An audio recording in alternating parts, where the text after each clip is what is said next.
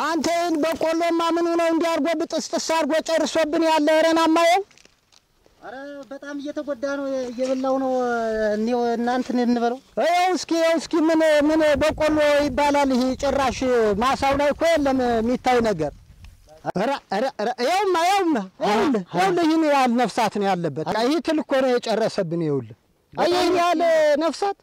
አየህ አየህ። ይኸው ይኸው በጣም ይሄ ነው በጣም የሚጨርስ ይሄ ነው በቃ ማሳ ምንም አለን ብለን አንኮራበትም እንግዲህ በኋላ ይኸውልህ ጨርሶታል። በቃ እንዳል እስከዚህ እንዳል ይኸው አዎ አሁን እንዴት እናድርግ አንተ ይህንን ነገር አረ ይህ ነገር እኮ በጣም አንድ አሁን ከዚህ በኋላ እኮ ግንዱንም ሆነ ቅጠሉን ማየት በነጋ በነጋ እንዲከበላው ግንዱንም ቅጠሉም ልናጣው ነው ምንችል። በዚህ ከቀጠለ እሸት እንኳ ሳንበላ ልንከርም አይደል? ቅጠሉን ሁላ እኮ ነው የበጣጠሰው። ይኸውልህ እስኪ ይኸው በጣም አዲስ ነገር ነው የሆነ። ይኸውልህ በቃ ምንም የተረፈ ነገር እኮ የለም። ሰላም አደራችሁ። አበራ እግዚአብሔር ይመስገን። እንዴት አደር? ሰላም ነው? ምንድነው ደግሞ በጠዋት እዚህ ቁማችሁ? ኧረ ምን ወንድም አለም ሜና ተባያ ምጦ ለቆብን ጠዋት ጠዋት በመጣነ ሰዓት የምናገኘው ይህን ማት ነው ብታይ። በጣም ነው ጉድ ጉድ እኮ ነው ጉድ እኮ ነው። ይኸው እስኪ በልቶት የለ አንተ በጣም በልቶታል። አንድ የሆነ እንደ ጨርሶት ምን በቃ ከማሳው እኮ ጤነኛ ማሽላ የለም። ሁሉ ነው ጨርሶት ያለ ሽራ ውስጥ እኮ ነው የሚገኝ ብዛት እንደ ተምች አይነት ነገር አይሎን ማለት እና ምን ብናደርገው ይሻላል? በጣም ከባድ ነገር ነው ይሄ። አዲስ ነገር ነው በጣም ያው እንግዲህ ወደ ባለሙያ ሄደን ማማከር ይሻለናል እንጂ በቃ ጨረሰው እኮ እሸትም አልበላን እኮ በዚህ ጭራሽ እኮ የተነሳ መቼ ተረፈ እንግዲያ በዚህ አይነትማ አይገኘውም። ግንዱ ሁሉ ይፈጀዋል። ግንዱን ሲጨርሰው እያየ እንግዲያማ ባለሙያውን አይቼዋለሁ። በሰፈር አካባቢ ልንገረዋ። አዎ ይሻላል። ደውልለት እንግዲያው እስካየኸውስ ስልኩን አውጣና ደውልለት። ስልኩን ይዘህ አዎ እጀዋለሁኝ። በቃ ደውልለትና እስኪ አንድ መፍትሄ ይበለንና እንማማር።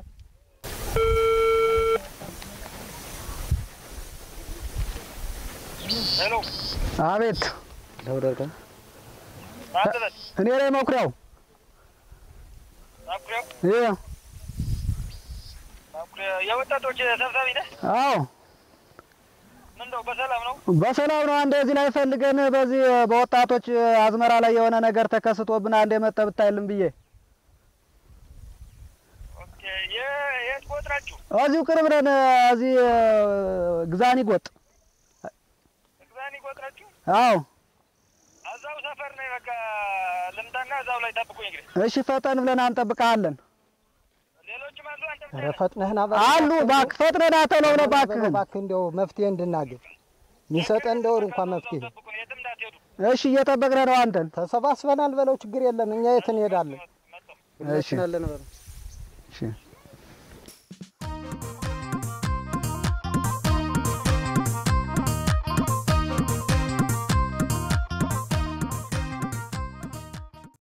መፍትሄ ያስፈልገናል። በዚህ ከቀጠለ እኮ በጣም አስጊ ነው የሚሆንብን። በጣም ተወያይተን እና በጣም ጨርሶታል አይደለ? ደግሞ ፍጥነቱ ደግሞ ብታየው ምን በቃ በጣም እኮ ይፈጥናል። በጣም ነው እንዳለ ሌትም ቀንም ነው የሚበላው። በቃ እንዲያው ያቋርጥ ይህንማ መፍትሄ መፈለግ አለብን እንጂ። እግዚአብሔር ይመስገን። ሰላም ነው ጋሽ? እግዚአብሔር ይመስገን። እግዚአብሔር ይመስገን።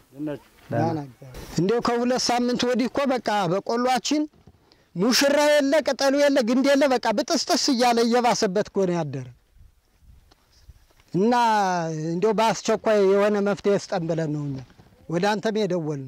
የተከሰተው ነገር ያው ትንሽ ዛግታችኋል እንጂ ዞሮ ዞሮ ለዚህ መፍትሄ ይኖረዋል። ዞረ እስኪ እንየው፣ ሁሉንም ውስጡን ገብተን እንየው። እሺ ኧረ ጨርሶታል። ማን ጨርሶታል አይል ምን ቅጠሉን ብቻ ግንዱን ሁላ ይወስዱ። በጣም እንዲያው አንተ ተበልቷል። እንዲያው በጣም በልቶታል። በመጀመሪያ እስኪ ቅጠሉን እንየው። ያው እንደሚታየው እዚህ ላይ የተላሰሰ ነገር አለ። እዚህ ላይም ያው ተልሷል። ያው ይህን ይህን ጎድቶታል። ሌላኛው ደግሞ ሌላ ባህሪው አሁን እዚህ ላይ እንደማየው መሀሉን የተቆራረጠ ነገር አለ። እዚህ ዳር ላዳርም የተበለ ነገር አለ። ሌላው ደግሞ እስኪ ሙሽራ ውስጥ እናረጋግጥና እንየው። ሙሽራው እንዳይበለሽ ቀስ አድርገን ነው የምንለቅላት ወይ የምንቆርጣት። ቆይ ቆይ ወደዚህ ያለው ኧረ ብዛት ነው ያለው። መንጋ እኮ ነው ያለው። ምን በጣም ብዙ ተባይ ነው ያለበት። ልቀመ በዚህ ላይ አድርገው ይኸው እስኪ ያለውን ብዛት ይኸው ይኸው እስኪ ይኸው እስኪ ከአንዱ ላይ እኮ ከአስር ያላነሰ ነው ያለበት። አስር ትላለህ? ኧረ በጣም ብዙ ነው። ምን ጠቅላላ ጨርሶታል እኮ ምን ምንም አረጋ። ይኸው እስኪ አየኸው ብዛቱን። ቆይ ይኖረዋል፣ ወደ ይኖረዋል። አለው ይኖረዋል፣ ብዙ ቆየ። ቆይ ቆይ ይሁን እንዳጥለው በጣም ብዙ ጉድ ነው ያለበት። ምስኪ ጨርሶታል። የመጨረሻ ምንም የለውም። ይሄን አይታችሁታል እንዴ እናንተ ቅድም?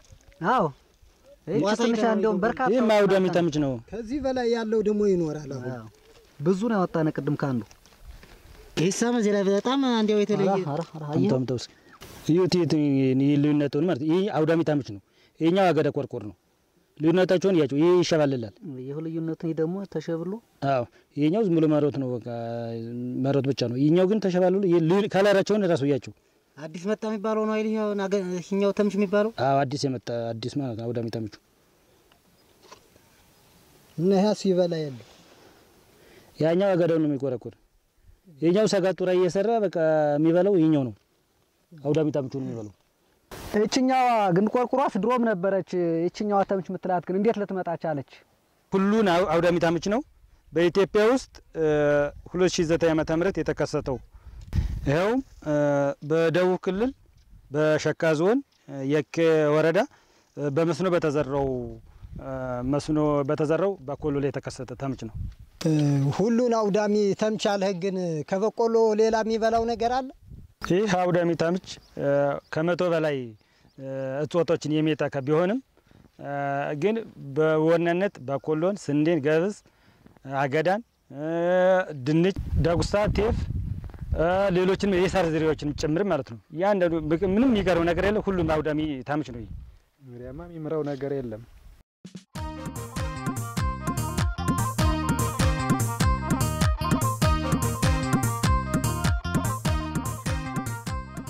አንተ ቅድም ተምች ነው ብለህናል። እኛስ ተምች መሆኑን በምን ነው የምናውቀው? ይህ አውዳሚ ታምች ከሳትራት የሚመደብ ትል ነው። የመጀመሪያው ምልክቱ የጉዳት ምልክቱ ትሉ እንደተፈለፈለ በመጀመሪያ ቅጠሉን በአንድ በኩል እያላሰ ቅጠሉን ይመገባል። ሁለተኛና ሶስተኛ ደረጃ ላይ ከደረሰ በኋላ ደግሞ ቅጠሉን እየበ- እየበሰው ከጎንና ጎን ተርዙን ይበለዋል። በተክሉ ሙሽራ ውስጥ ገብቶ ስለሚመገብ በመስመር የተደረደሩ ቀዳዳዎች ይታያሉ። ልክ እንደ አገዳ ቆርቆር አይነት ምልክት ያሳያል። ይህ ተባይ በጣም ከፍተኛ መንጋጋ ስላለው በደንብ ስለሚመገብ ከሰብሉ- ላይ በጣም ኃይለኛ ጉዳት ያደርሳል። እንደምታዩት እዚህ ላይ ሰብሉን እየተመገበ ጽዳጁንም እዚህ ላይ ይጸዳዳል።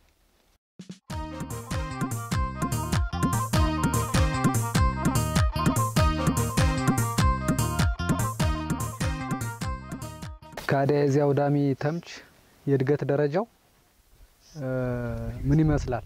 ይህ ሁሉ አውዳሚ ተምች በህይወት ዘመኑ የሚቆይበት በሙቀት አካባቢ ላይ 30 ቀን ይቆያል።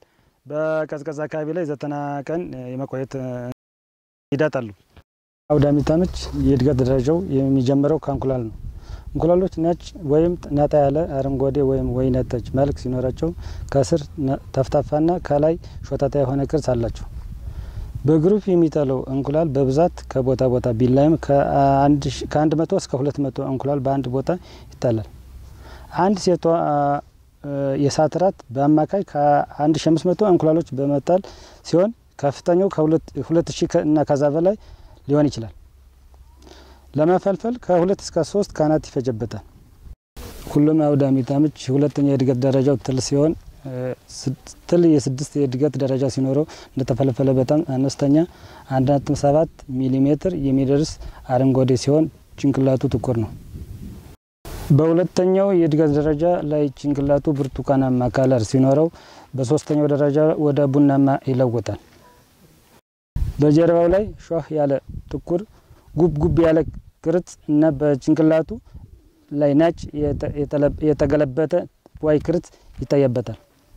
ሁሉን አውዳሚ ተምች የሶስተኛ የእድገት ደረጃው ኩብኩባ ነው።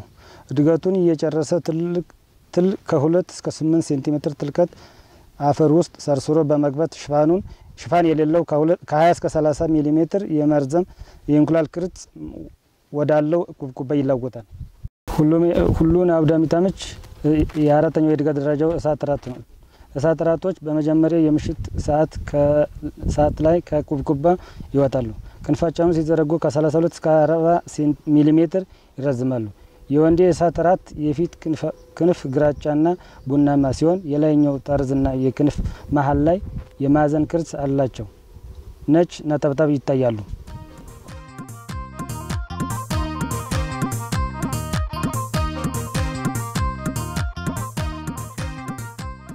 እዚህ ላይ ጥያቄ አለኝ። እንግዲህ አስቢ፣ አንተ ቀጥልበት። ይህን አውዳሚ ተምች እንዴት ነው መከላከል የምንችለው? እንግዲህ ይህን አውዳሚ ተምችን በሁለት መንገድ መከላከል እንችላለን። በአንደኛው በባህላዊ መንገድ፣ ሁለተኛው ደግሞ በኬሚካል መከላከል እንችላለን። እንግዲህ እዚህ ላይ እኔ እንዳየሁት የጉዳት መጠኑ ብዙም የተጎዳ ስላልሆነ በባህላዊ መንገድ መከላከል እንችላለን። አሁን እንግዲህ ማሳያችሁ በባህላዊ መንገድ ነው እየዞርን የምናየው። እንግዲህ ተምቹን ለመከላከል ማሳውን መጀመሪያ ማሳስ መቻል አለብን፣ መፈተሽ መቻል አለብን። ስታገኙ ንገሩ። በቃ አሁን እንግዲህ ስታገኙ ቅድም የነገርኳችሁ ምልክቶች አሉ። ከእነዚህ ምልክቶች ላይ ስታገኙ ለእኔ ንገሩ እና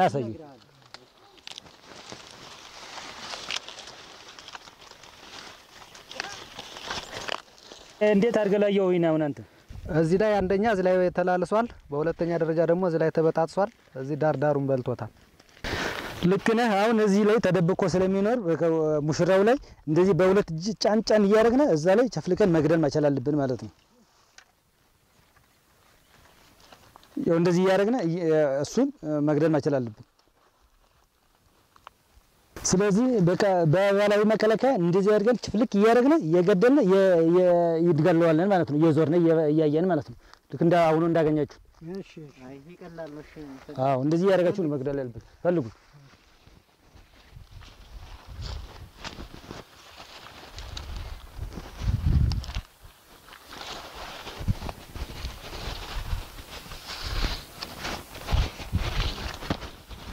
እንደዚህ እያደረጋችሁ ሙሽራውን ሳትጎዱ ጫን ጫን እያደረጋችሁ መግደል ነው ያለባችሁ፣ እየዞራችሁ ማለት ነው።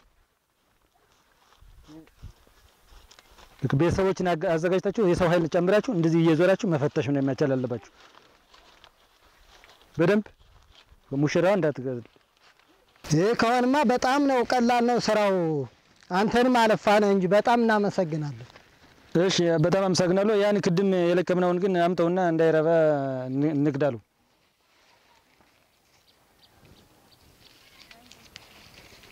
ስለዚህ ይህን በሌላም እንዳይረባ ምን ማድረግ አለብን? መግደል መቻል አለብን።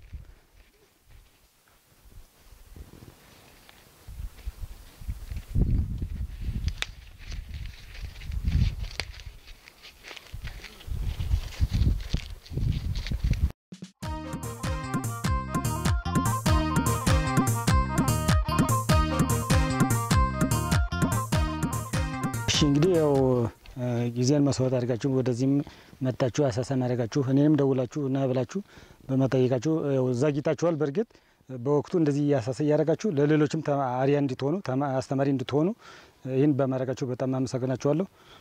ቻው በቃ